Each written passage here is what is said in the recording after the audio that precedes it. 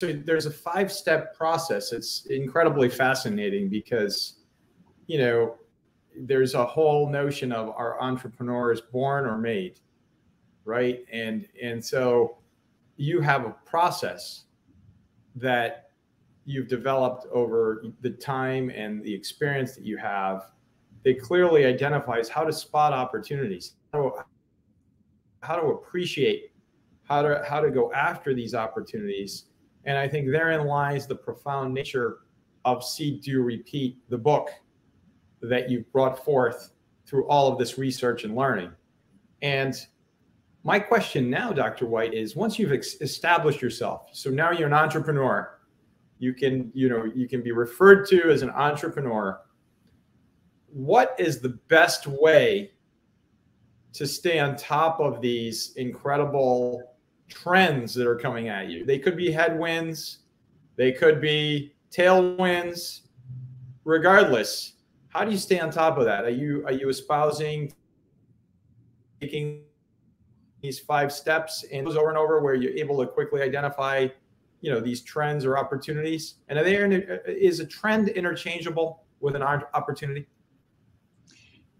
um, well that's a really good question so i think you know, sometimes trends, well, trends by their very nature come and go, uh, but opportunities come and go as well. So we all know lots of examples of people and companies that have launched too soon or too late. Um, you mentioned the pandemic.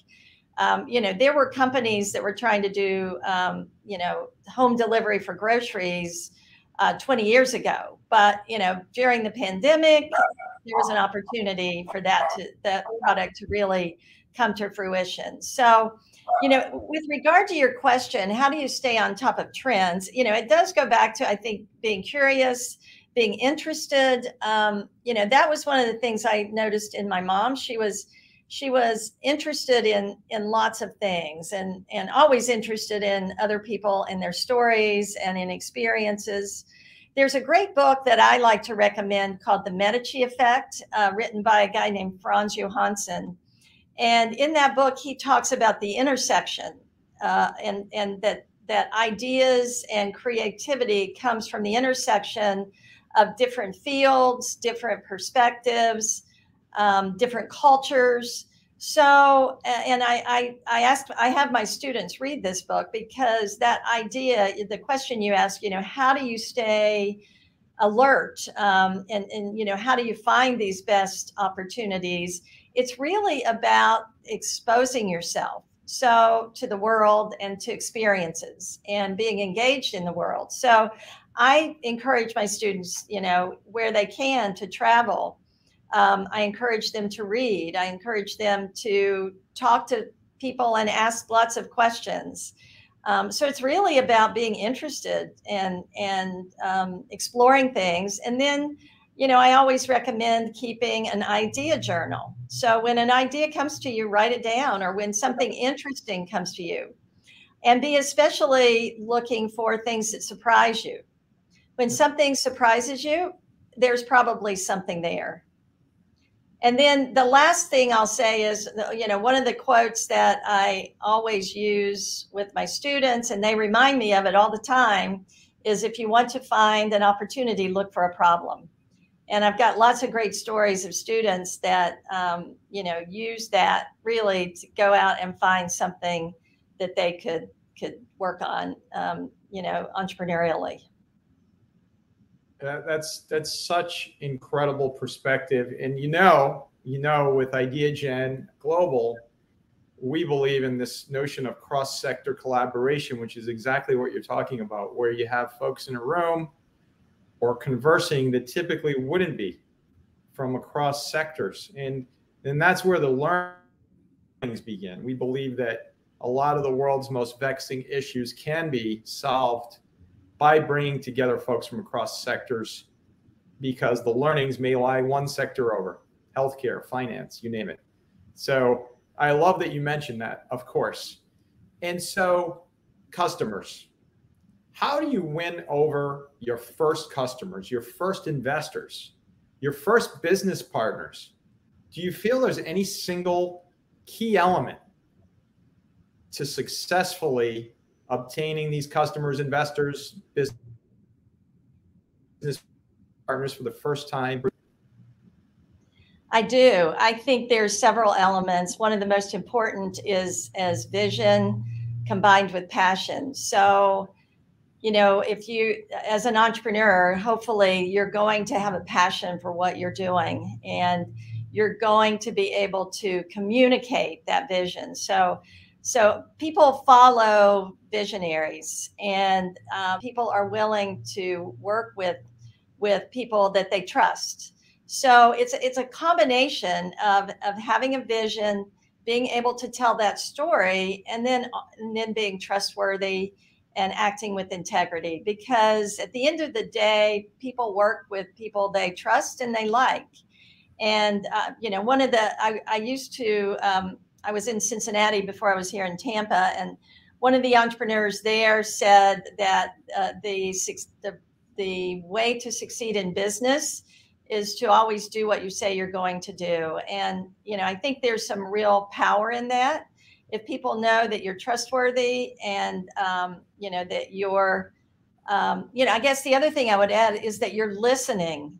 So with that first customer, if you listen to them, you're going to understand how to solve their problem. With that investor, if you listen to them and understand their agenda, you're going to be able to work more effectively with them.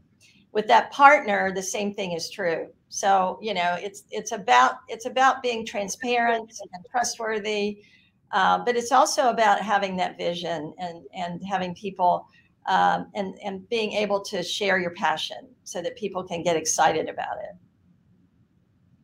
that's right. And we've seen that time and time again. You think you know you think uh, vision and passion you think steve jobs you think bill gates you think you know so many folks along the way. Why them and not someone else? Well because they had the passion and they certainly have the vision.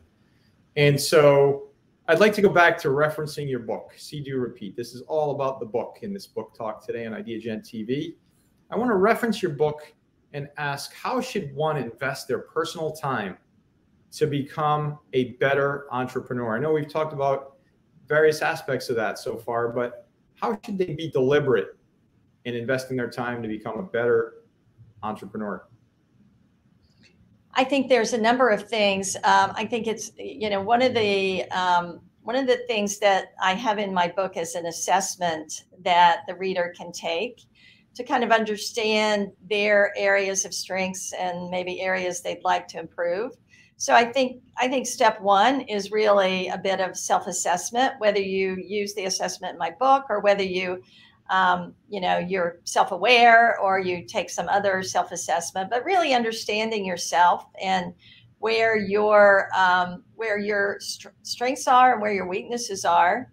Um, you know, we we will become uh, if we're going to become great, it's usually because we emphasize and build on our strengths. So I'm not necessarily tr- saying try to come over overcome all your weaknesses.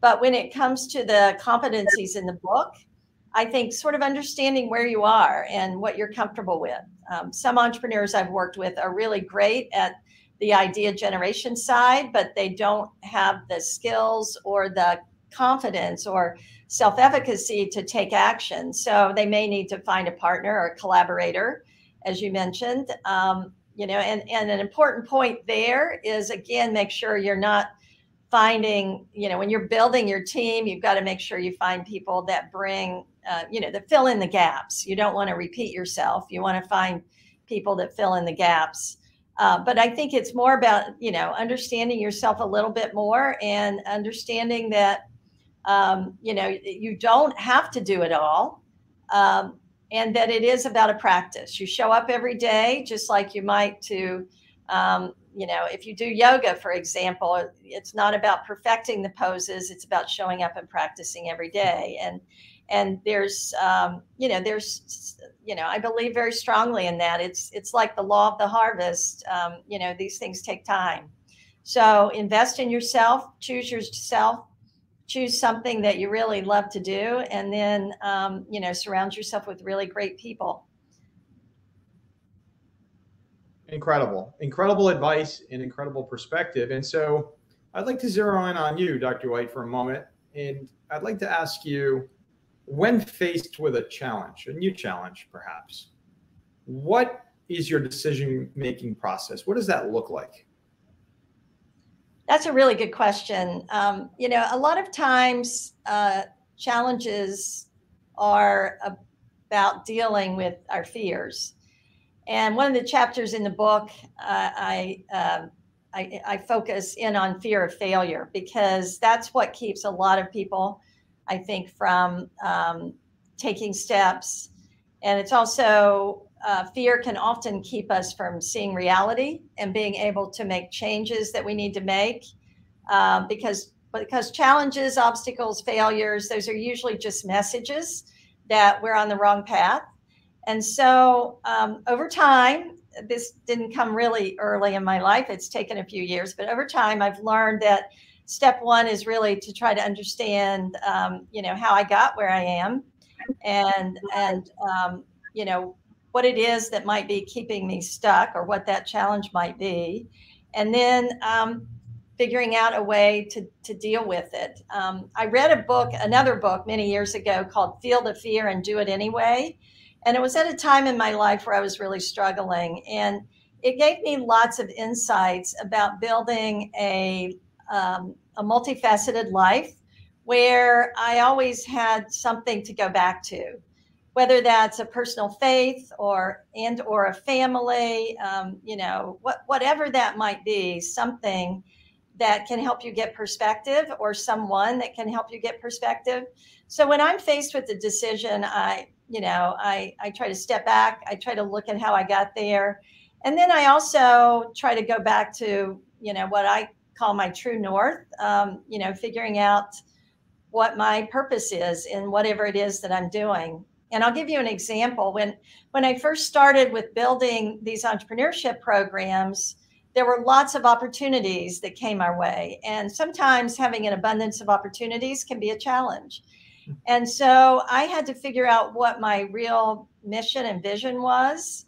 And for me, it's always been about does it bring value to my students? And so for programmatic uh, kinds of partnerships or uh, ventures that I might pursue when I have a decision there, I always go back to what that that value is. You know, why I'm doing what I'm doing.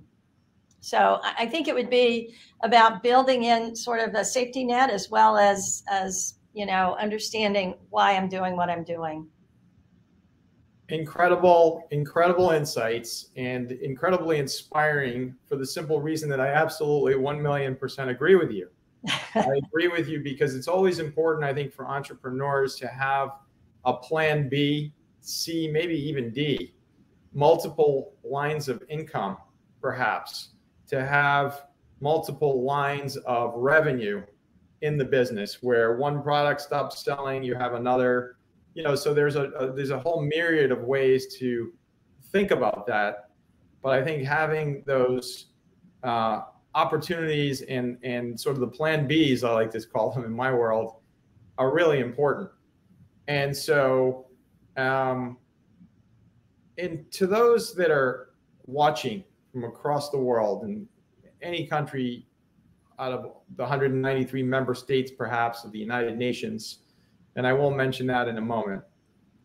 What would you say to those that are considering starting a new venture as an entrepreneur, what's the most rewarding aspect of starting your own business, Dr. White? Well, that's a, that's a really great question, and and although it may vary somewhat uh, from individual to individual, I think for for me, what I would say is that it's the the knowledge that you're solving a problem. Um, you know, you brought up the having a plan B. You know, in entrepreneurship, we call that pivoting. So I always tell my students when they are, you know, unsure about the direction they need to go to go back to the problem. Because at the end of the day, an entrepreneurial venture is about problem solving. So the, the reality that you're that you're doing something meaningful, leaving a legacy, making a change in the world, transforming lives, making somebody else's life better through the product or service um, that that you're offering to the world. To me, that's the most exciting thing. it's really a creative problem solving process and and much like what you're doing with IdeaGen, um, you know, we, we can solve the world's problems, um, I believe, one entrepreneurial venture at a time. And I, I'm such a fan of the power of entrepreneurship and, and its ability to bring together the world and to, to change the world. And for me, that's what is so exciting about it. It's transformative uh, problem solving, really transformative problem solving. And at IdeaGen, as you know, Dr. White, we are focused on with the virtual backdrop of the 17 global goals of the United Nations. Important to note that those are 17, let's call them problems, problem sets, eradicating poverty, hunger, empowering women and girls. How do we do that? Global partnerships, access to energy, etc. And in 2015, all 193 member states, every single one, agreed unanimously to these 17 goals and that they would help to work together to achieve those goals by 2030. We're in that runway, right? We're in that runway to 2030. And there's a there's a myriad of problem sets around that that I think entrepreneurs across the world could look at to create and fill the void of what the issue is. So I want to thank you so very much for your insights today, for your inspiration, for the book, See, Do, Repeat. We encourage our global listeners to go to Amazon, go wherever the book is available to purchase the book. Here's a copy of the book, See, Do, Repeat. Dr. White, where, where can folks find out more about the book and where can they find out more about you, your work, the N Factor podcast, and everything that you're doing. Thank you, George. I appreciate the opportunity to share that. So I uh, I have a brand new website. It's Dr. Rebecca White, just D R R E B E C C A W H I T E, drrebeccawhite.com. Um, you can also find the N Factor podcast on Apple um, Podcasts or Spotify or anywhere else that you listen to podcasts. But you can also find out about the book and the podcast at at drrebeccawhite.com. I'm also on LinkedIn. I would love to connect with you there. And you can also read more about my work at the University of Tampa at uh, ut.edu. So I I'd love to um, to share more of that with with you know because again I believe that big problems can be solved with this entrepreneurial mindset, and I I love what you're doing at IdeaGen, and I appreciate you sharing See Do Repeat with your audience. Dr. Rebecca White, Professor of Entrepreneurship, Director Corporate Boards, and host of the N Factor podcast, and also author of See, Do, Repeat.